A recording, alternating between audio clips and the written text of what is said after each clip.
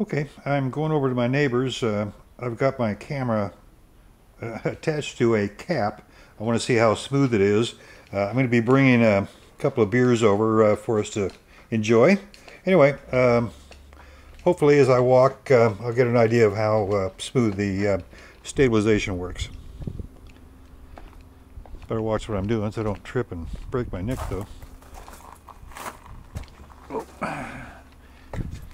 Okay, over the wall. But it's so nice to have this remote control so that I can turn the camera on and off uh, from it without having to see what I'm doing. Okay, well I'm there, so uh, see how it looks.